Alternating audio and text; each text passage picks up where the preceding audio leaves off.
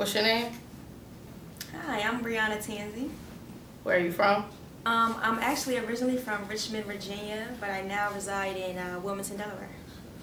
How old are you? I'm 22 and I'll be 23 in June. What's your favorite color? Um, I'm actually a pink kind of girl. So, what's your zodiac? I'm a Gemini. Do you have any kids? Um, no kids right now. Do you want kids? I actually do. I want about three, maybe two to three, like a nice little family, you know. Where's your place of employment? Um, I actually work in retail now at the mall, Concord Mall. I don't know if you're familiar with it, uh, but at H&M. How do you feel about that job? Um, it's retail, so you know how that goes sometimes. It's a little frustrating, but it gets the bills paid. Right.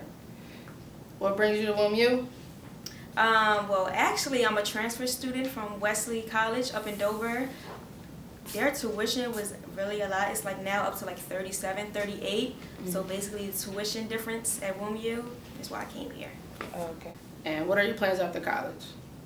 Um, I'm really not too sure what I want to do within the major now. Like I'm pretty early, like I'm still a sophomore, so I'm just like now taking it all in and trying to figure out like what I want to be after.